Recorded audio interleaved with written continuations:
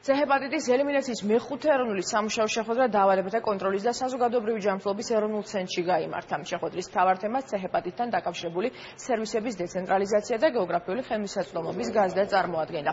სერვისების დეცენტრალიზაციის მიზანია მოსახლეობისთვის HCV პროგრამაში ჩართვა გამარტივ და შემცირდეს შემცირდეს დიაგნოსტიკასა და მკურნალობასთან დაკავშირებული ბარიერები, ტრანსპორტირების ხარჯები, შექმნეს სკრინინგის, დიაგნოსტიკის და მკურნალობაში ჩართვის სერვისების საჭირო კონსულტაციების მიღების შესაძლებლობა ერთი ფანჯრის პრინციპით. პრინციპით.